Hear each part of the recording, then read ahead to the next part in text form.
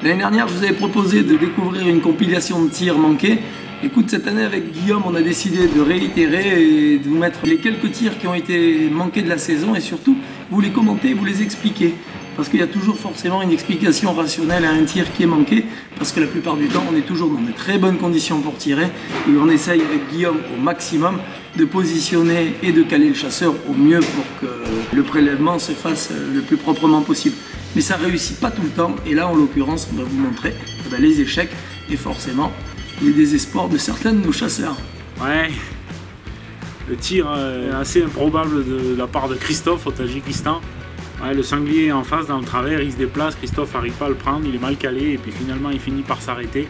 Et il le tire à 180 mètres il, tape juste devant la patte avant. Donc il fait un écart assez improbable. Je me demande s'il visait bien le sanglier parce que le sanglier était aussi gros qu'une Twingo.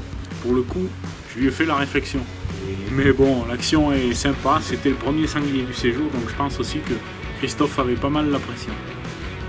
Je me rappelle très bien de cette situation. Je suis avec euh, un jeune chasseur, Matisse. On a la pression de chasser déjà avec Ovini. On a les caméras de Seasons qui sont là. Donc euh, pas facile de garder de la concentration. Écoute, une journée de chasse qui, se prolonge. On a une action sur, euh, sur un bon chamois. Malheureusement, la balle passe juste au-dessus. Donc, eh bien, ça sera partie remise, Matisse. Ça aussi une situation avec euh, Sébastien. On se retrouve tout début janvier. La distance est assez courte, 110 mètres. Ah ouais, la balle est juste passée au-dessus. Ce tir-là, il est incroyable. Euh, sur deux, loups couchés au Tadjikistan. Pendant une, chasse au sanglier, on approche deux loups qui sont couchés, on leur sort à 180 mètres. On en profite pour les tirer couchés parce que quand un loup se lève, effectivement, il, part de suite. Donc euh, là, ils sont tranquilles. Il y en a un des deux qui nous a vus. Deux loups dans sa lunette, c'est pas tous les jours. Un gros coup de doigt de la part du chasseur, beaucoup de pression. Donc euh, à la fin, un gros écart. Et c'est bien dommage parce que ces loups-là étaient extraordinaires.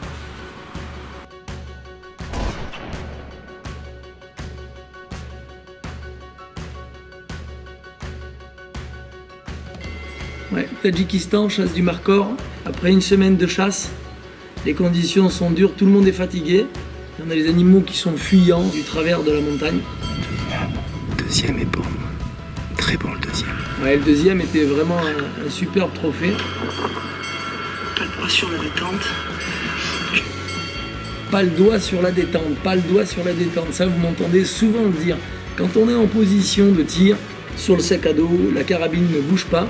Par contre, l'animal lui se déplace. Donc si jamais tu mets ton doigt déjà sur la détente et que tu viens qu'à déplacer, étant donné qu'on utilise des carabines avec des boîtiers ATZL, donc avec un départ qui peut être programmé et qui peut être réglé entre 800, 600 ou 200 grammes, c'est vraiment des départs qui sont très fins et surtout très sensibles, équivalent à un Stetcher. Et donc quand je dis tu mets pas le doigt sur la détente, c'est que tout simplement, eh bien là, c'est l'erreur qui s'est passée. Je peux voir que mon chasseur a le doigt sur la détente, l'animal se déplace et au moment où il déplace sa carabine, boum, le coup part. L'animal est parfaitement manqué. Très bon. Et malheureusement, on n'a plus d'autre occasion de tir, ni sur cet animal, ni sur un autre, jusqu'à la fin du séjour. Comme quoi, un voyage, tu rentres des fois bredouille, et ça a été le cas cette fois-ci. Toujours au Tadjikistan. Moi, j'y suis. Là, on est en plein mois de février, les conditions de neige. On a des conditions qui sont vraiment top pour la chasse des, sangliers. On est le soir, à la fin de la journée.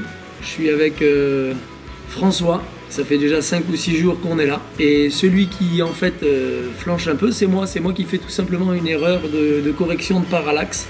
On a 300 mètres. Je me dis qu'avec euh, l'incidence qu'il y a du tir, je fais pas de correction. Et pour le coup, eh bien, la balle passe et vient taper juste au pied du sabot du sanglier. Le sanglier est manqué, mais c'est pas une erreur du tireur parce que tu peux voir qu'il est pile axe. C'est juste moi qui ai fait la mauvaise correction. Juillet l'année dernière, je suis en train de chasser euh, le chevreuil sur des collines et on, on, surprend un chevreuil qui est en train de se décaler sur le pêche. Prends ton temps. On bascule une combe, deux combes, trois combes et on se positionne assez rapidement. Il faut prendre une position depuis la stable stick. Malheureusement, euh, le tir est manqué. Recharge, dépêche-toi. Ouais, ce tir-là, je vais venir un brocard à la peau. Il y a 25 mètres. Donc euh, c'est assez compliqué de gérer son stress. Le chasseur lâche sa flèche. Le brocard a tendance à s'affaisser un petit peu. La flèche vient raser le dos du brocard. Donc euh, pareil, c'est manqué propre, mais il s'en est fallu de peu.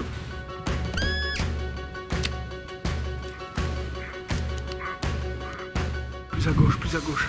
Elle est tout à gauche. Ouais, alors euh, ce tir-là, ben, on l'a vu dans la vidéo, hein, c'est la fameuse euh, chèvre d'Anthony. Une très belle chèvre, après une approche euh, très longue. Et un gros coup de doigt aussi, pas mal de stress, de pression et un bon coup de doigt. Qui fait qu'il tape 45 cm dessus la chèvre. Dommage parce que c'était une très belle chèvre. Assez manqué. Manqué la grosse chèvre Ah ouais, dégoûté. Un coup de doigt Je pense, ouais. Ou la fatigue Il doit y avoir les deux, je me suis un peu précipité. Ouais, ça c'est avec euh, Bernard, je me souviens très bien. Le chevreuil monte dans la luzerne, il est pas loin, il est à 80 mètres. Je le siffle un coup, il s'arrête. Et malheureusement, ben, ça passe au-dessus. C'est dur de suivre les animaux quand ils sont en mouvement et de rester calé sur une canne et, d'être stable. Donc euh, c'était très incertain. Là aussi, le tir d'un renard couché, c'est rare de tirer des animaux qui sont, couchés, mais là, dans cette situation précise, si jamais on attend que le renard se lève, en fait, il va se lever et partir tout de suite. Donc, on n'a pas attendu qu'il se lève. On a tiré cet animal qui est couché. Alors, tu peux imaginer un renard couché, ça fait 10 cm de hauteur quand il est plaqué au sol. Là, pour le coup, c'était vraiment un tir qui était vraiment difficile. Alors, très souvent, je chasse et je sors aussi euh, avec des archers. Et le chevreuil, en fait, il se prête bien à chasser à l'arc, surtout pendant la période du rut. Tu peux les approcher facilement et surtout les faire venir. Écoute, on est sur une approche qui a duré euh, plusieurs heures. On finit à à peu près moins d'une vingtaine de mètres de l'animal. Écoute, pas mal de tension pour le chasseur. Imagine-toi à 20 mètres euh, d'un chevreuil. Et puis surtout, là, je crois que c'était une première.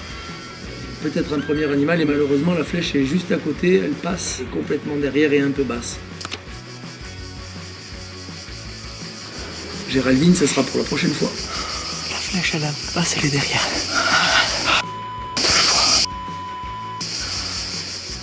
Toujours sud-ouest, chasse du chevreuil. Alors c'est sympa le chevreuil parce que vraiment c'est des animaux que tu peux approcher très près. Donc on se régale toujours de les approcher au plus près, au plus près, au plus près. Et malgré tout, malgré euh, la technologie de l'arme, de la lunette, eh bien même à une distance de 50 mètres, eh bien là, Christophe il nous fait un manqué. Voilà. La balle passe au-dessus de l'animal. C'est ce qu'on appelle un loupé. Voilà, un loupé. Un loupé propre. Ouais, les sangliers sont en train de, de monter à ce moment-là dans la neige. Ils sont devant nous depuis un petit moment. Et ils tirent à 300 mètres, Christophe. Manque de chance, il, euh, il, il lui tape juste devant. Donc euh, il s'en est fallu peu sur cette action. Le brocard de l'année avec Thomas le dernier soir. Il a beaucoup de pression, le brocard est très gros et il est caché par des feuilles. C'est vrai que moi j'insiste pour qu'il tire parce que je sais que les, les grands brocards restent pas longtemps au même endroit. Et à mon avis, il a beaucoup de pression et il met un coup de doigt sur la détente. Et le coup passe nettement au-dessus.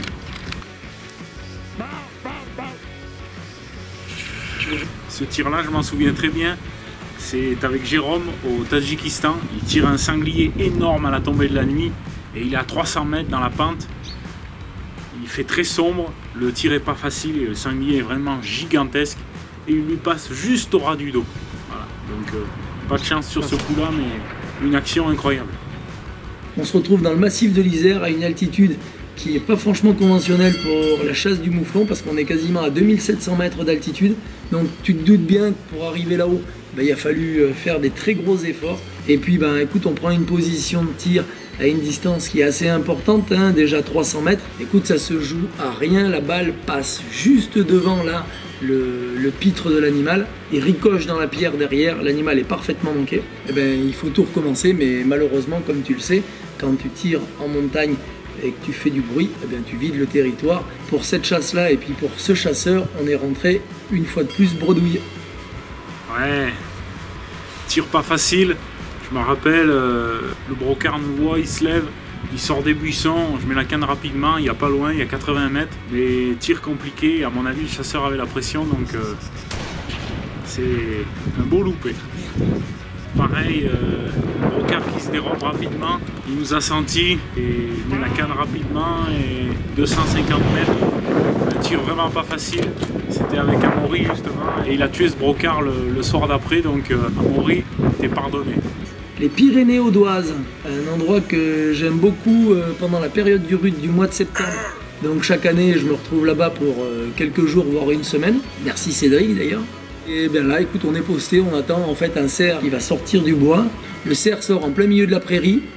Il sort parce que les biches sont là. On a le droit de le tirer parce qu'il il a 12 corps. C'est vraiment un très beau trophée. Le chasseur est posté, donc tout est calme. La balle passe juste au-dessus et l'animal démarre. Et il est manqué. Donc il n'y a pas d'erreur. Et Cédric nous a trouvé forcément une roue de secours pour de nouveau aller chasser un autre cerf. Et donc ce chasseur a quand même prélevé un cerf lors de ce séjour. Le brocard mange tranquillement, on a le temps de se préparer, mais il est un petit peu dans la végétation et à mon avis c'est ce qui gêne le chasseur. La balle lui passe entre les pattes. Manqué propre. Ça y est, on le retrouve, Benoît. Eh bien oui, bah là, comme quoi, ça peut arriver à tout le monde, même au meilleur. Hein, Benoît C'est vrai que selon quand on est habitué à une arme, effectivement, le fait de changer, ça peut euh, éventuellement avoir des sensations qui sont différentes au niveau du tir. Là, en l'occurrence, Benoît chasse souvent avec une blazer. Là, il était avec une Sauer. Le départ est différent et donc il s'est fait surprendre par euh, le- la détente. Je pense que j'ai appuyé un peu fort sur la détente, ça pardonne pas. Ouais, un beau brocard, malgré la réactivité du chasseur, il s'en est fallu peu. C'était bien tenté, mais ça passe à côté. Vie notre prochaine expédition, abonne-toi et active la cloche.